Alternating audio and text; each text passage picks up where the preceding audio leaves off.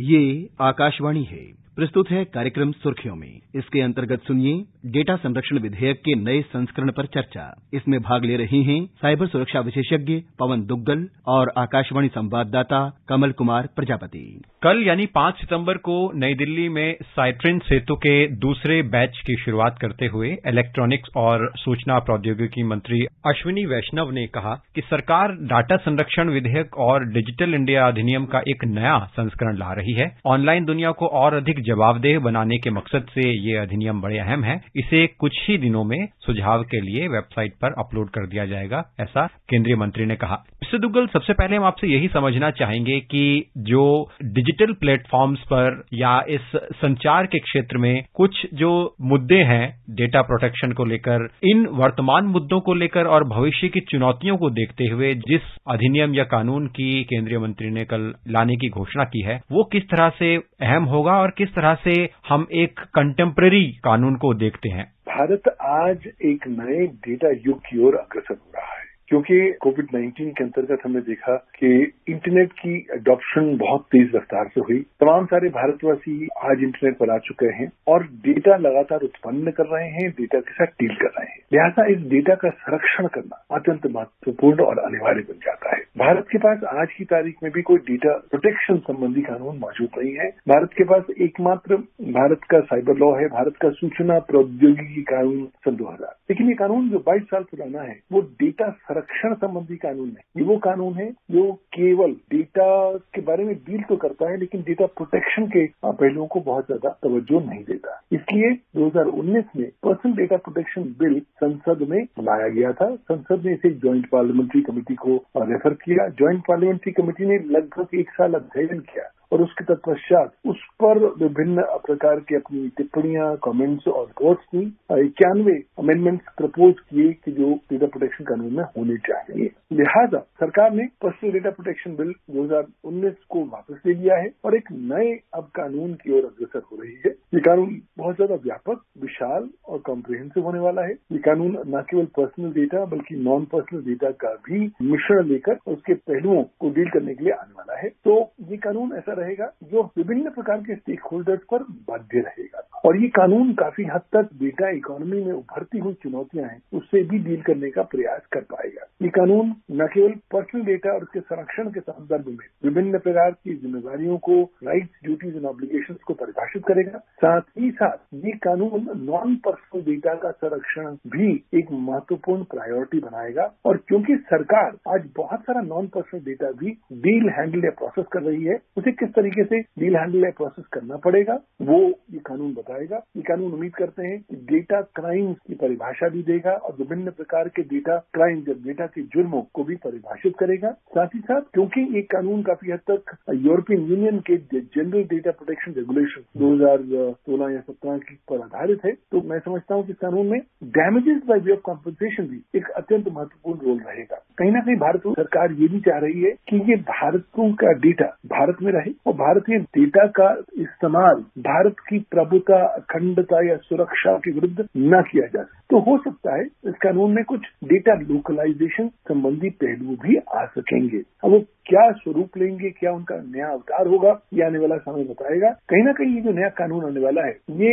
एक सबसेट होगा भारत के इंफॉर्मेशन टेक्नोलॉजी एक्ट का। लिहाजा इस नए कानून का ताल्लुक या संबंध सूचना प्रौद्योगिकी कानून के साथ क्या रहेगा? और इंश्योर सरकार को करना पड़ेगा कि इन दोनों विशिष्ट कानूनों में कोई विशेष विरोधाभास न हो पाए। साथ ही साथ जो डेटा स्टेक होल्डर्स है, चाहे डेटा कंट्रोलर है, चाहे डेटा प्रोसेसर है, या डेटा डीलर या हैंडलर है, उसके भी राइट्स ड्यूटीज़ और ऑब्लिगेशन को परिभाषित करने की आवश्यकता होगी। और आज तो डेटा हर प्रकार की टेक्नोलॉजी पर इस्तेमाल हो रहा है। तो जब आप डेटा को नई इमर्जिंग टेक्नोलॉजीज़ में इस्तेमाल करेंगे, चाहे वो आर्टिफिशियल इंटेलिजेंस हो ब्लॉकचेन हो इंटरनेट ऑफ़ थिंग्स हो तो क्या उसका स्वरूप होगा? और किस तरह की जिम्मेवारियाँ होंगी, कुछ इस पहलू पर भी मैं उम्मीद करता हूँ कि ये कानून रोशनी डालेगा जो कंपनी भारत के बाहर है, लेकिन भारतवासियों का डेटा डील हैंडल प्रोसेस कर रहे हैं, उनकी क्या क्या जिम्मेवारियाँ होनी पड़ेंगी, किस प्रकार से ड्यू डिलीजेंस या सावधानियाँ बरतनी पड़ेंगी, ताकि भारतवासियों का डेटा का संरक्षण हो सके, उसका नाजायज इस्तेमाल ना हो। कहीं ना कहीं मुझे लगता है कि नए कानून में ये भी टिप्पणी हो सकती है कि ये कानून के प्रावधान शायद सरकार और सरकार के चुनिंदा एजेंसी पर लागू ना हो। क्योंकि देखिए, सरकार दुनिया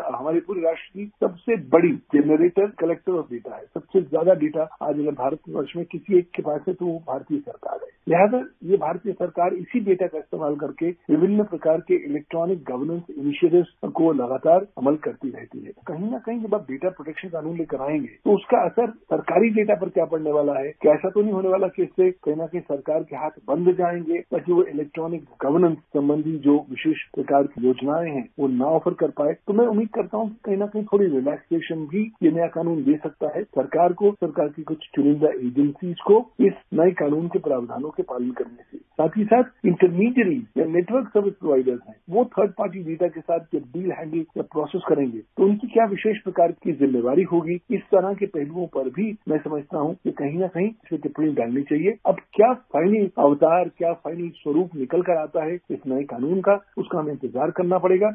दुग्गल साहब, डिजिटल क्रांति आने के बाद हमने देखा कि एक उपभोक्ता की निजी जानकारी अब डिजिटल माध्यमों पर उपलब्ध है और इस जानकारी या डेटा के कलेक्शन, इसके इस्तेमाल, ट्रांसफ़र या इसके जो डिस्क्लोजर है, उसकी बड़ी चुनौतियाँ सामने आई हैं। एक उपभोक्ता को इन सब चुनौतियों को समझना कितना ज़रूरी है और जो पूरा विषय है, चाहे वो कानून का हो या डेटा प्रोटेक्शन का हो, समाज में इसकी जागरूकता कितनी ज़रूरी है, जिससे कि रेगुलेशंस के साथ साथ लोगों में भी इस विषय को लेकर चर्चाएँ या विमर्श हो सकें। अगर आप भारतीय समाज का हिस्सा हैं, भारतीय नागरिक हैं, ये भारत में केवल है और डेटा इस्तेमाल कर रहे हैं, तब आपको समझना होगा कि डेटा कहीं ना कहीं आपके जीवन के सेंट्रल लाइफलाइन के साथ जुड़ गया है। आने वाले समय में ऐसा होगा कि आपके पैसे की कीमत कम और आपके डेटा की कीमत ज़्यादा होने वाली है। आज भी अगर आप डार्क नेट पर जाते हैं तो आपका फाइनेंशियल डेटा कम कीमत में बिकता है, लेकिन अगर आपका हेल्थ डेटा है, वो ज़्यादा कीमत में बिकता है। तो हम जब एक नए डेटा इकोनॉमी युग में कदम रख रहे हैं तो हमें समझना होगा कि इस नए डेटा इकोनॉमी युग की जो बिल्डिंग ब्लॉक्स हैं वो डेटा है। लिहाजा ये बिल्डिंग ब्लॉक्स को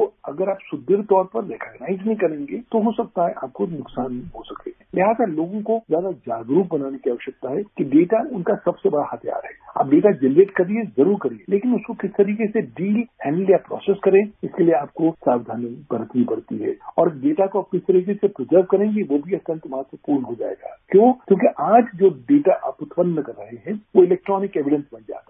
और इस इलेक्ट्रॉनिक एविडेंस को किसी भी कानूनी अदालत में आप प्रस्तुत कर सकते हैं प्रोवाइडेड आप भारत के इंडियन एविडेंस एक्ट के प्रावधानों का पालन कर सकें। तो इसलिए डेटा के महत्व के बारे में सब लोगों को जानकारी देना अत्यंत आवश्यक है। मेरा व्यक्तिगत मानना है कि डेटा संबंधी साइबर लॉ साइबर सुरक्षा संबंधी जानकारी और शिक्षा स्कूली बच्चों को पहली कक्षा से ही दे देनी चाहिए। क्यों? क्योंकि आज बहुत छोटी उम्रों में ही हम ये डिवाइसेस जो है, इन बच्चों के हाथ में लगातार देते आ रहे हैं और ये बच्चे भी डेटा उत्पन्न करते आ रहे हैं, उसको लगातार ट्रांसमिट कर रहे हैं, बिना सोचे समझे कि उसकी क्या कानूनी परिस्थितियाँ हो सकती हैं।